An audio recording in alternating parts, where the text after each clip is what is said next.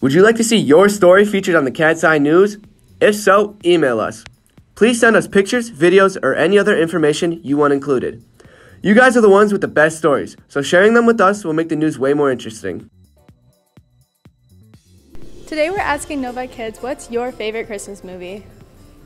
Um, I would say Santa Claus. Home alone?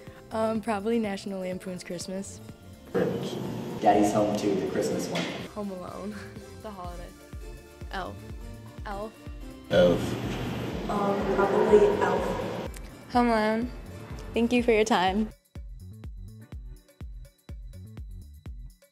Hey seniors, if you're interested in Novi local scholarships, they will be opening on Friday, December 9th. We talked to Mrs. Tobis about how you can be a part of this.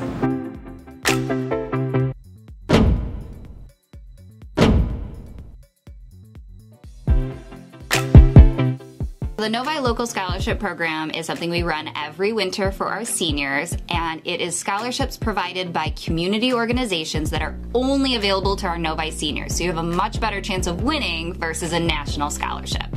So next week, our seniors will receive an email from me that has a join code for our local scholarship Schoology course. Within that course, you will have access to the descriptions of the about 30 scholarships this year.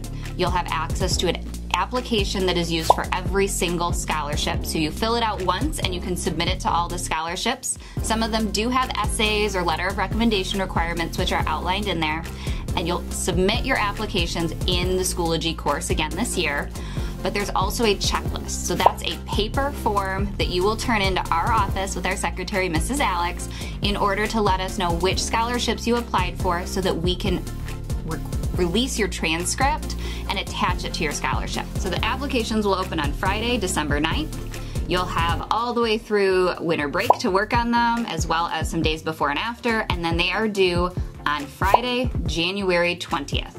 The checklist, though, we will still take that checklist Monday, January 23rd, but after that, that's the deadline. You can find all of the resources in the Schoology course.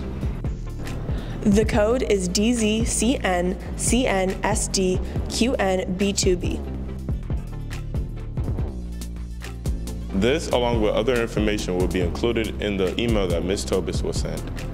If any other questions, you can email her here at andrea.tobis at novik12. You can also email Mrs. Chin, who oversees the program. Good luck, seniors. Hey Novi, the girls in white coats are doing a bottle drive from December 1st through the 9th. So if you have any extra bottles, be sure to bring them to Mrs. Show's room, room 110. See you later, Novi. Ho ho ho, hey Novi High School! The IB seniors are putting on a Christmas Wonder event where Novi students can perform a musical talent at local senior homes. The events take place all throughout the month of December, so scan the QR code to sign up for the date that works best for you. If you have any questions, feel free to contact Mr. Capilano or DM at Novi IB Cohort on Instagram. Thank Are you interested in playing men's volleyball?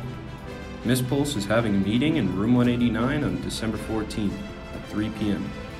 Stop by for information about sign up and the season. Thanks, Wildcats.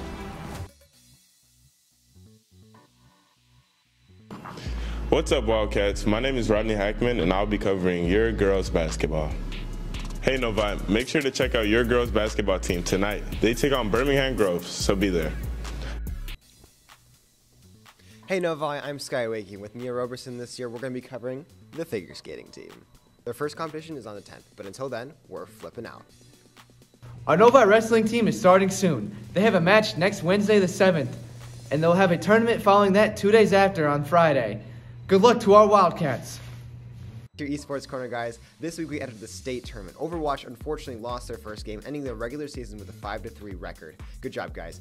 Both Smash teams, however, won their tournament games and will move on next week to the next round. CSGO won their playoff games as well and is now in the state semifinals. Valorant Green was unfortunately forced to forfeit, although Valorant White took that personally and won two underdog games, moving them to the quarterfinals.